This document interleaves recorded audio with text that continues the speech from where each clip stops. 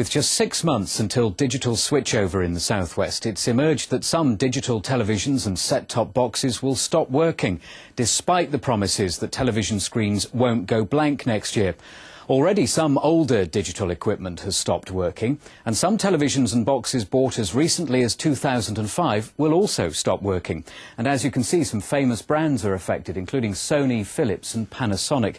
Now, I must stress it's only certain models made by those companies, and you can find out which models on our website, bbc.co.uk forward slash Devon. It's come about because of changes to the signal after switchover next year when the analog TV signal switched off next year, the new high-power digital network that's replacing it is actually going to use a new transmission standard called 8K. That's got two major benefits for people. The first one is that it's going to be more resilient, so things like interference from your central heating systems at home, you won't notice anything like as much. And the second one is that it's actually going to give better reception for people in fringe areas, mainly through something called single frequency networks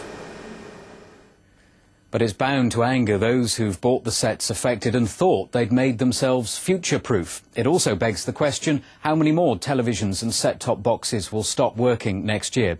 The good news is that most of the integrated digital televisions affected will work with the addition of a new set-top box, and all equipment carrying a digital tick will continue to work after switchover. We asked the media regulator Ofcom and the BBC Trust for an interview, but no one was available.